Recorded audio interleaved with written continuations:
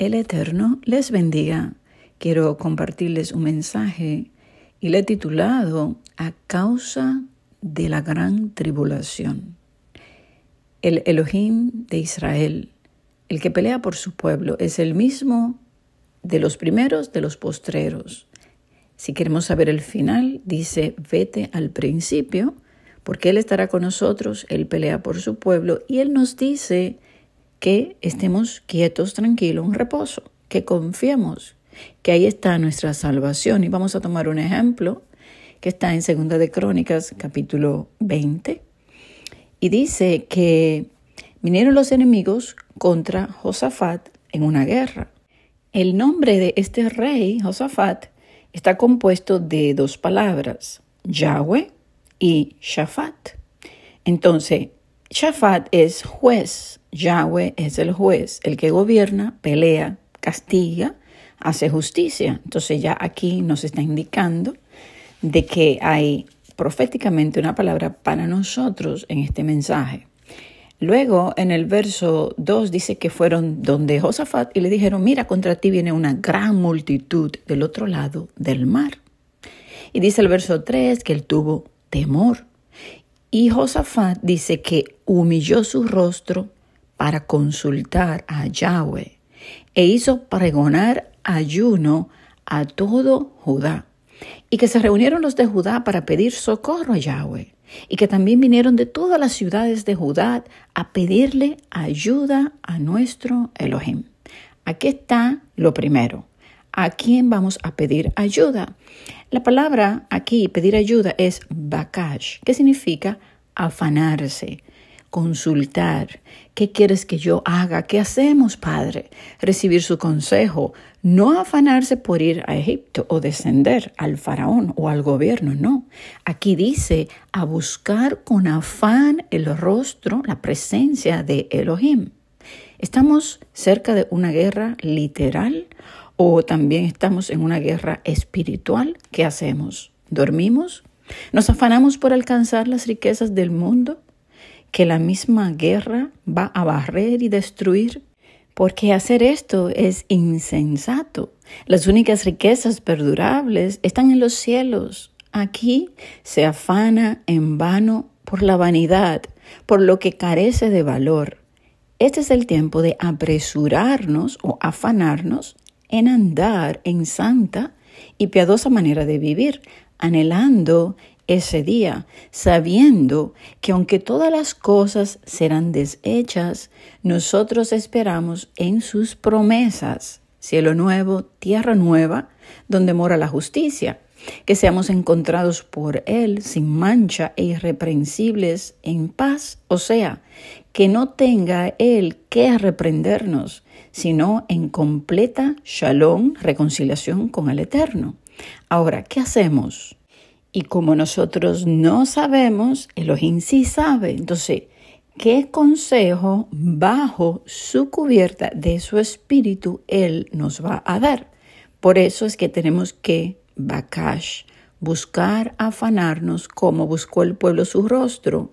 Estas tres letras de esta palabra nos traen un mensaje. Bakash tiene Bet, que es el templo, la casa, y también el hijo, Yeshua, Kov, que es el tiempo, o sea, es como llegó el tiempo de la purificación, la tercera letra es chim. Entonces, llega la guerra, la tribulación, y que él dice, búscame con afán, con diligencia, apresúrate que yo te ayudaré. Entonces, esto fue lo que hizo el pueblo. En el verso 6 dice Josafat, Yahweh, Elohim de nuestros padres, ¿no eres tú Elohim en los cielos? Y tienes dominio sobre todos los reinos de todas las naciones del mundo. ¿No está en tu mano tal fuerza y poder que no hay quien te resista? Y luego dice en el verso 8, habla de la edificación de este santuario al nombre de Adonai. Pero ¿quién es el santuario, el templo? Pues somos nosotros ahora. Y dice el verso 9, si mal viniere sobre nosotros, o espada de castigo, o pestilencia, o hambre, nos presentaremos delante de esta casa. y delante de ti, porque tu nombre está en esta casa. Somos el templo, entonces nos presentamos delante de Él en su presencia, nos afanamos por buscarle, porque viene espada de castigo, pestilencia, hambre, y Él nos ha dado el acceso para entrar en ese lugar santísimo. Y dice aquí, y a causa de nuestras tribulaciones, clamaremos a ti, y tú nos oirás y salvarás. Entonces, nosotros, a causa de la gran tribulación, vamos a clamar, nos vamos a afanar y sabemos que Él nos va a escuchar y nos va a salvar. De eso trata. Entonces, vamos a ir al verso 11. Y aquí pues Josafat le dice a Elohim que los enemigos habían venido a arrojarnos de la heredad que Él nos ha dado en posesión. Tenemos una herencia como Israel, el enemigo nos la quiere quitar.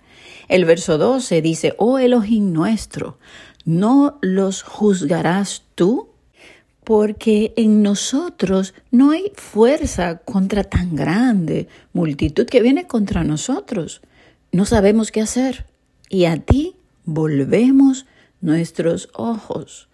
El verso 13 dice que todo el pueblo estaba allí de pie con los niños, las mujeres y sus hijos, y que estaba Yahaziel, dice hijo de Zacarías, dice que era un levita de los hijos de Asaf, sobre el cual vino el espíritu de Yahweh en medio de esa reunión. Entonces imagínense, están todos ahí y hay un levita al cual le llega la palabra. Ahora, en este nombre de este levita hay un mensaje.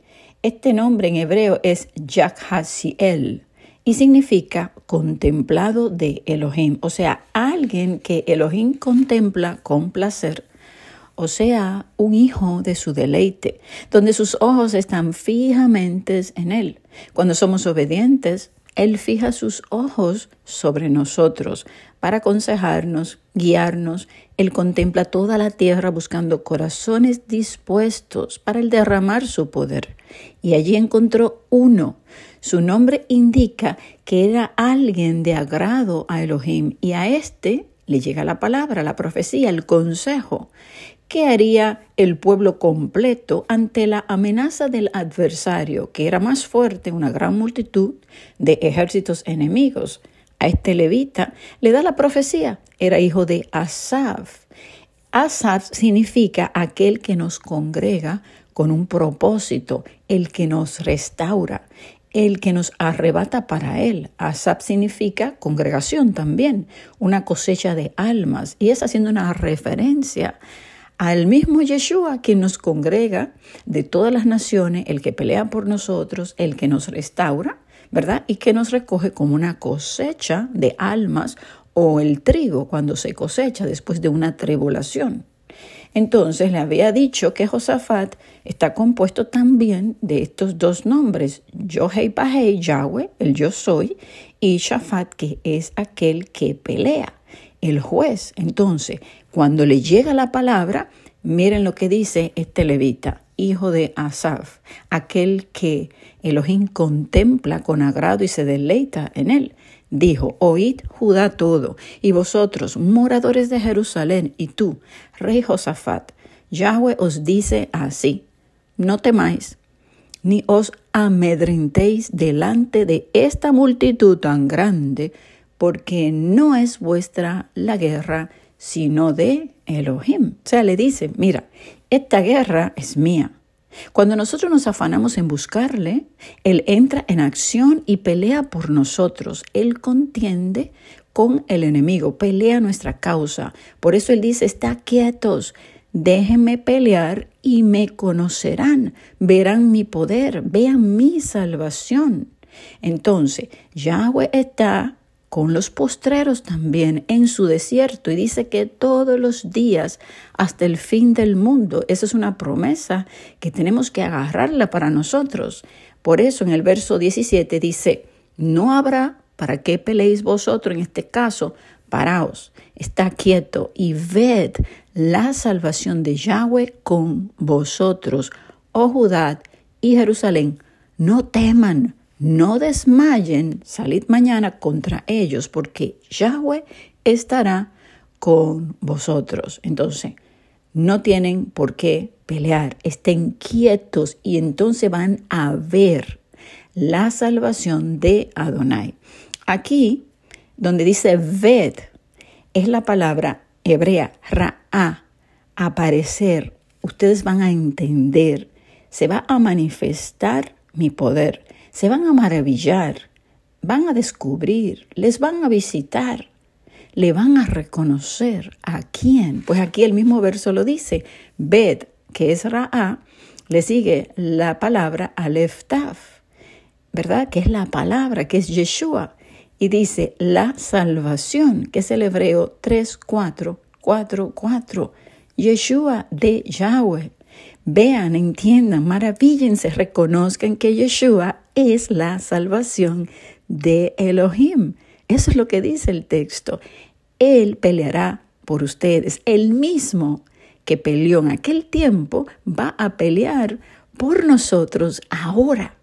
Cuando nosotros le busquemos de corazón y nos afanemos y esperemos el consejo y la ayuda de Él. Entonces, ¿quién viene? Yeshua, quien pelea, el guerrero valiente. ¿Verdad? A él se le ha dado el juicio, el que juzga y pelea, el verdadero. Entonces dice, descansen, estén en reposo para que yo manifieste mi poder. Ustedes me vean, comprendan, se maravillen y entiendan, no hay para qué pelear. Entonces, ¿qué hacía el pueblo? Aquí va a ser algo y eso es lo que vamos a hacer nosotros. Ustedes están quietos, tranquilos. Ustedes van a ver el poder. Ustedes van a ver lo que Elohim va a hacer, lo que ya él prometió, él lo va a hacer. Porque él es el hacedor de maravillas, de milagros, y dice que él hará maravillas, milagros como los que hizo en Egipto, como lo que hizo con su pueblo cada vez que salía y los defendía. Entonces, esto se va a repetir de nuevo. Dice el verso 18 que Josafat se inclinó rostro a tierra y asimismo todo Judá y los moradores de Jerusalén se postraron delante de Yahweh y adoraron a Elohim. ¿Usted se imagina? Ah, viene problema, vamos todos a unirnos, vamos a alabar, vamos a adorar, vamos a dar gracias, vamos a esperar su consejo, Él va a pelear por nosotros, tú te estás tranquilo, ¿verdad? Entonces dice, verso 19, y se levantaron los levitas de los hijos de Coat y de los hijos de Coré para alabar a Yahweh, el Elohim de Israel, con fuerte y alta voz. Entonces, solo piensen en el panorama, ¿verdad? Está pasando todo esto, consultan a Elohim, él le da una palabra por medio de un hijo de su deleite, un levita, entonces ahora estos se levantan a adorar y ahora el rey le dice así, verso 20, oídme, dice que estaba en pie, Judá y moradores de Jerusalén, creed en Yahweh vuestro Elohim y estaréis seguros. Creed a sus profetas y seréis prosperados. Ahí está seguridad, prosperidad, paz, shalom entonces, ¿qué es la palabra creer aquí? Para estar seguros, confiados. Es amán, ¿qué significa confiar, permanecer, estén quietos, firmes. En esa verdad, créanle. Ahí tendrán esa seguridad. Y dice que se pusieron ellos de acuerdo de que algunos cantasen y alabasen a Elohim con sus vestiduras sagradas, mientras salía la gente armada y que dijesen, proclamando esta gran verdad, glorificad a Yahweh, porque su misericordia es para siempre. Y esto es algo que tenemos que entender, abrazar en nuestro corazón. Glorifiquen a Elohim, la hora del juicio ha llegado, adorad aquel que hizo los cielos y la tierra, aquel que su misericordia es eterna y para siempre. Aquí misericordia es Hesed. Imagínense, esa palabra se refiere a ese pacto, esa alianza, al amor, a su buena voluntad, a la piedad, a la gracia, al consuelo, al favor, al amor eterno. Entonces, si ese Hesed es para siempre, glorifícalo a Él, porque es su buena voluntad pelear por ti. Y luego, entonces, dice en el verso 22, y cuando comenzaron a entonar cantos de alabanza, mire lo que pasó. Yahweh puso contra los hijos de Amón, de Moab y del monte de Seir las emboscadas de ellos mismos que venían contra Judá y se mataron los unos a los otros, ellos mismos. En el verso 24 dice, y luego que vino Judá a la torre del desierto, miraron hacia la multitud. O sea, no hubo para qué pelear. Solo tuvieron que cantar, adorar, creer, estarse tranquilos y quietos. Y dice, y que cuando ellos miraron hacia la multitud, he aquí yacían ellos en tierra, muertos, pues ninguno había escapado. Y esto es lo que Yeshua va a hacer por nosotros también. En Apocalipsis 19 dice que por la espada, por la palabra que sale de su boca, va a derrotar a todos los enemigos y va a pelear por nuestra causa y nos va a establecer. Luego dice el verso 25, viniendo entonces Josafat y su pueblo a despojarlos, hallaron entre los cadáveres muchas riquezas, así vestidos como alhajas preciosas que tomaron para sí, tantos que no los podían llevar. O sea, el botín era tan grande que hasta tuvieron que dejar de tanto que era porque no le alcanzaba para podérselo llevar. Dice que tres días estuvieron recogiendo el botín porque era mucho. Y al cuarto día dice que se juntaron en el valle de Veracá porque allí bendijeron a Yahweh. Él es digno, Él es merecedor, Él pelea por su pueblo. Ahí estaba el pueblo alabando, bendiciéndolo, felices y gozosos.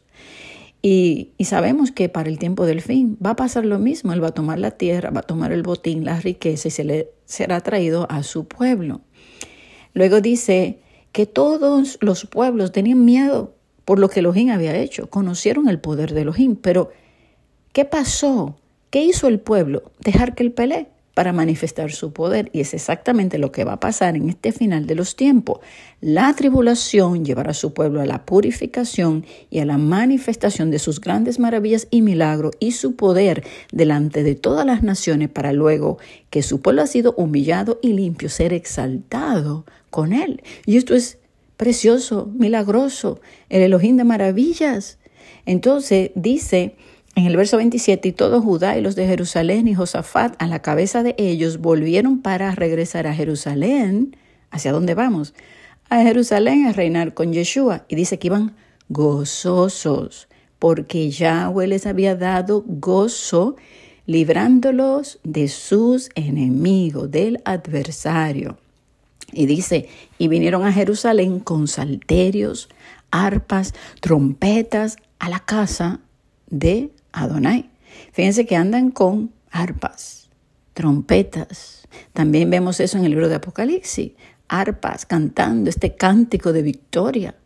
Y dice que el verso 29 que el pavor cayó sobre todos los reinos porque oyeron como Yahweh pelea y le da la victoria a su pueblo contra los enemigos, manifestando allí que Él es el Elohim único y verdadero y que nadie puede contra Él.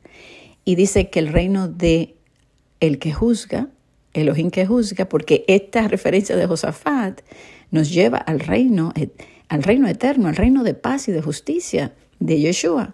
Dice, y el reino de Josafat, de aquel que juzga, tuvo shalom, porque su Elohim le dio shalom, paz, por todas partes, haciendo una referencia a este reino final. Ahora, antes de terminar, quiero hablarle de la palabra tribulación que está aquí donde a causa de nuestras tribulaciones vamos a clamar a ti, tú oirás y salvarás. Y aquí haciendo una referencia al Elohim que pelea por su pueblo, cuando nosotros nos afanamos por buscarle, por buscar su ayuda, Él va a responder para manifestar su misericordia eterna, su amor hacia ti y poner pues su nombre en alto delante de todas las naciones. Esta palabra aquí aflicción es nuestra angustia, que es 6869, Sara, que es angustia de Jacob, la aflicción, la tribulación, también es la venganza, la calamidad. Y esta palabra, Sara, viene de Zar, que significa el rival, o sea, el contrario, el anticristo, el adversario, el oponente que va en contra de Israel, el que te pondrá en estrecho, apretado, o sea, en problemas o opresión. También esa palabra viene de sur o sur, que es afilado o cuchillo, aflicción, rodear para vaciar la tierra, atar, sitiar. Entonces, cuando esa tribulación del enemigo, del adversario, venga contra ti, como nosotros somos el templo de Adonai, entramos en la presencia de Él, que es su casa, y voy a repetirle para terminar el verso 9, si mal viniere sobre nosotros, o espada de castigo, guerra, tribulación, pestilencia, hambre, nos presentaremos en tu presencia, en este templo, en esta casa, a causa, la razón es de nuestra angustia, la angustia de Jacob que ha puesto el adversario, el enemigo en contra de nosotros. Y clamaremos a ti, vamos a afanarnos en buscarte y tú nos oirás y tú nos salvarás y vas a manifestar la salvación de Yahweh, vas a, a manifestar Yeshua. Amén.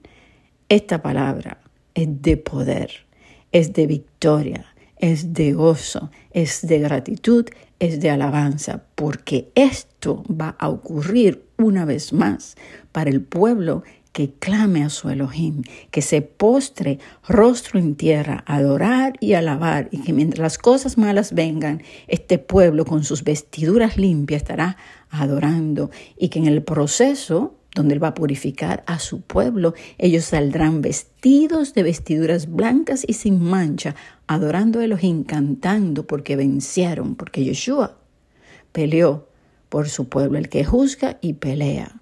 Amén. El Abba les bendiga.